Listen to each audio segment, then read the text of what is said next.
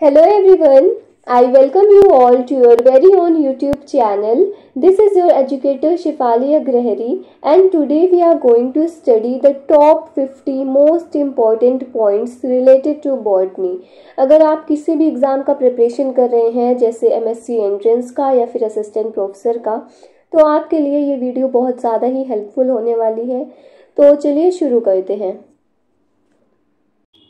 Aristotle is known as father of biology Aristotle जो कि एक ग्रीक नेचुरलिस्ट थे he is known as the father of biology ये जो टर्म है biology it was first use by Jean Baptiste de Lamarck in France and G Treviranus in Germany Theophrastus Aristotle के ही student थे and he is known as the father of botany father of Indian botany is William Roxburgh Theophrastus ने एक book लिखी थी जिसका नाम था Historia Plantarum and this is the oldest available literature in the field of botany इस book में उन्होंने करीब 500 प्लांट्स को डिस्क्राइब किया था, उनकी फ़ूड एंड मेडिसिनल वैल्यूज़ को एंड उनके अदर इकोनॉमिक यूजेस को along with their some of the morphological characters उन्होंने डिफाइन किए थे। Then the largest botanical garden in the world is Royal Botanical Garden which is situated in Kew England इसके herbarium में करीब six million specimens हैं. And the largest botanical garden in India is Indian Botanical Garden which is situated in Kolkata and the herbarium contains approximately one million specimens The smallest known bacterium is Dialister pneumoncentis.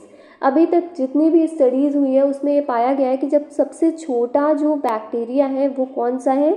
डायलिस्टर न्यूमोनसेंटिस ये बहुत important है, आप लोग याद कर लीजिएगा। Even इस slide की जितनी भी चीज़ें हैं, वो बहुत ज़्यादा ही इंपॉर्टेंट है। इसे आप पूरा ही अच्छे से याद करिएगा। Then the smallest bryophytic plant is Zoopsis argentea Zoopsis argentea सबसे छोटा ब्रायोफाइट है। Smallest pteridophyte is Azolla. Azolla सबसे छोटा टेरिडोफाइट है। सबसे छोटा जिम्नोस्पर्म है, Zamia pygmaea. Then the tallest angio angiospermic tree Eucalyptus regnans देखिए, अगर टॉलेस्ट एंजियोस्पर्म पूछा गया है, तब हम करेंगे यूकैलिप्टिस रिग्नेंस ऑप्शन को चूज़ करेंगे। लेकिन अगर टॉलेस्ट जिम्नोस्पर्म पूछा जाएगा तो हम लोग सिकोइया सिंपर वेरेंस रखेंगे। लेकिन अगर क्वेश्चन में ना एंजियोस्पर्म गिवन है, ना जिम्नोस्पर्म गिवन है तो सिर्फ़ और सिर्फ़ टॉलेस्ट ट्री पूछा गया है तो फिर हम सिकोइया सिंपल वेरेंस ही चूज़ करेंगे। इसे हम रेड वुड ट्री भी बोलते हैं। Red wood tree Sequoia sempervirens को then the smallest angiosperm is Wolffia hardest wood किसकी होती है, हार्ड विकिया की एंड लाइटेस्ट वुड सब वुड सबसे हल्की वुड होती है ओक्रोमा एंड एक्रोमेटोगोनस की। Then the plant with biggest egg cell is of Cycas the plant with biggest antherozoid is Cycas and the plant with biggest ovule is Cycas तो याद रखिएगा कि जो साइकस है साइकस में ही सबसे बड़ा एक्सेल पाया जाता है, साइकस में ही सबसे बड़ा एंथ्रोजॉइड पाया जाता है एंड सबसे बड़ा ओव्यूल भी साइकस के पास ही होता है।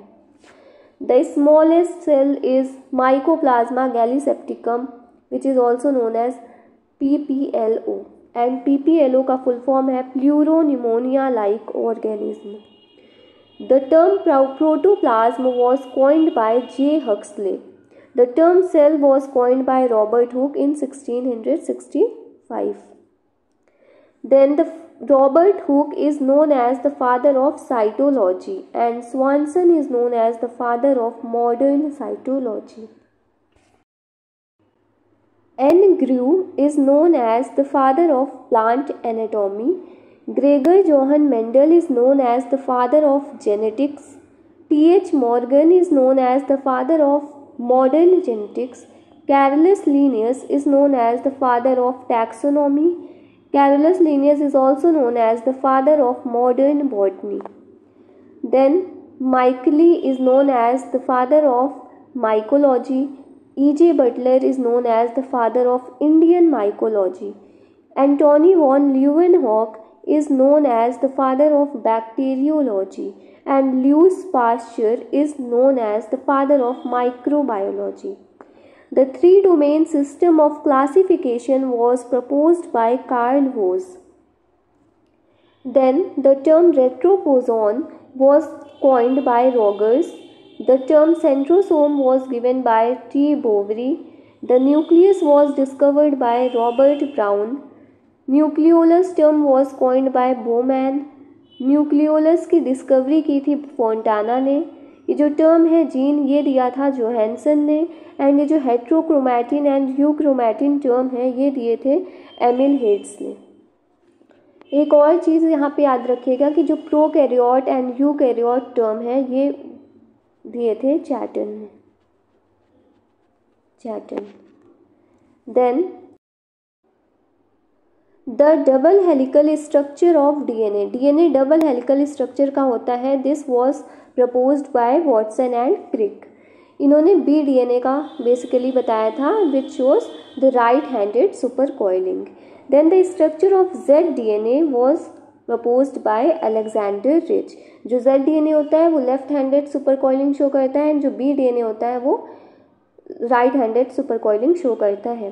Then the term M R N M R N A क्या होता है? Messenger R N A this term was given by Jacob and Monod and Jacob and Monod ने ही ओपेरॉन मॉडल भी दिया था। देन द टर्म ट्रांसपोजॉन जिसे हम जंपिंग जीन भी बोलते हैं this was coined by Hayes and Jacob then the discovery of transposon transposon की जो डिस्कवरी है मेज में किसने की थी? बारबरा मैकलिंगटॉक ने।